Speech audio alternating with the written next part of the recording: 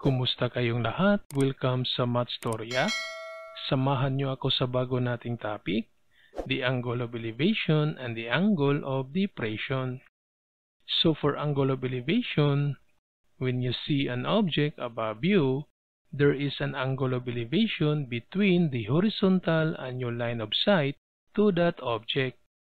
So if this is you and this one is the object, so therefore this is your line of sight. Then to find the angle of elevation, so that's between this horizontal and the line of sight. So this one is the angle of elevation. So we have this problem. The shadow of the building is 9.2 feet long. So this is the building and the shadow is 9.2 feet long. Then when the angle of elevation to the top of the building is 53 degrees, so this is the angle of elevation that's between the horizontal and the line of sight. So this one is 53 degrees. Then how high is the building? So this one is the unknown. So based from the given, so this is our angle. And this side is the opposite. And this side is the adjacent. So we have opposite over the adjacent. So we're going to use the tangent theta because tangent theta is opposite over the adjacent. So to solve now for the height of the building, since theta is equal to 53 degrees, so we have tangent 53 degrees, that's equal to the opposite, that's x, over the adjacent, that's 9.2. Then apply cross multiplication, so we have this over 1, then x times 1, this one is x, then 9.2 times tangent 53, so 9.2 times tangent 53 degrees. So to solve for x now, so x is equal, so we have 9.2, then times tangent 53 so x is equal to 12.21 so x is 12.21 feet. So this is now the height of the building. Then for this problem so a man flies a kite with 75 foot string. So this is the kite and the length of the string that's 75 feet then the angle of elevation to the string is 47 degrees. So again, angle of elevation, so between the horizontal and the line of sight. So this one is 47 degrees. Then how high of the ground is the kite? So this is the unknown, so the distance of the kite to the ground, this is x. So based from the given, if this is our angle, so this side is the opposite and this side is the hypotenuse. So opposite over hypotenuse, that's sine theta. So sine theta is opposite over the hypotenuse. Then theta is equal to 47. So to solve now the distance of the kite to the ground, so we have sine 47 degrees equals the opposite, that's x, over the hypotenuse, that's 75. So do cross multiplication over 1, so x times 1, this one is x, then equals, that's 75 times sine 47 degrees. So to solve now for x, so x is equal to uh, 75 times sine 47. So x is 54.85. So we have x is 54.85 feet. So this is now the distance of the kite to the ground. Then for this given, so a plane takes off 450 feet in front of 54 feet building. So this is the plane and the building. So the distance of the plane to the building, that's 450 feet. Then the height of the building, that's 54 feet. Then at what angle of elevation must the plane uh, take off in order to avoid crossing into the building? So the angle of elevation, this one is the unknown. So to solve for the angle, so since this is our angle, so this side is the opposite and this side is the adjacent. So opposite over adjacent, that's tangent, theta. So tangent theta is opposite over adjacent.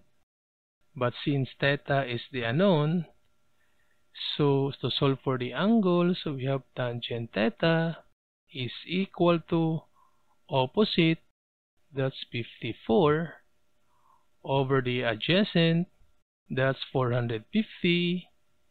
So to solve now for angle theta, so we have this uh, inverse tangent, then 54 over 450. So angle theta now is equal to, so we have this inverse tangent, so that's shift, then tangent, then open parenthesis, so 54 divide by 450, then close parenthesis, so theta is equal to 6.84 degrees. So theta is 6.84 degrees. So this is the angle of elevation of the plane. Then for the angle of depression, so when you see an object below you, so there is an angle of depression between the horizontal and your line of sight to that object.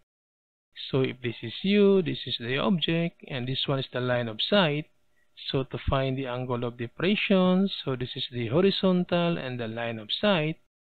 So this is the angle of depression. Then we have this problem. So from the observation tower, that's 19 meters high. So this is the observation tower, that's 19 meters high. Then the angle of depression to an object. So if this is an object, then we have this angle of depression. So again, angle of depression. So between this horizontal and the line of sight. So this is 27 degrees. Then how far from the foot of the tower is the object? So this is the unknown. So using the properties of transversal line that these alternate angles are congruent. So if this is 27 degrees, so this angle is also 27 degrees. So we're going to use this angle and this side is the opposite and this side is the adjacent. So opposite over adjacent, that's tangent theta. Then to solve now for x, since uh, theta is equal to 27 degrees, so we have now tangent 27 degrees is equal to opposite, that's 19, over the adjacent, that's x. Then do cross multiplication. So we have x times tangent 27 degrees equals that's 19. So to solve for x, divide both sides by tangent 27 degrees. Divide by tangent 27 degrees. So cancel. So x now is equal to so we have this 19, then divide by tangent 27, that's 37.29. So x is equal to 37.29 meters. So this is now the distance from the foot of the tower to an object. Then for this problem, so a building is 170 feet tall. So this is the building that's 170 feet tall. Then on a particular day at noon, it casts a shadow, 215 foot shadow. So this is the shadow of the building. Then what is the sun angle of depression at that time? So this is the sun and the angle of depression. So angle of depression, that's between the horizontal and the line of sight. So this is now our angle of depression.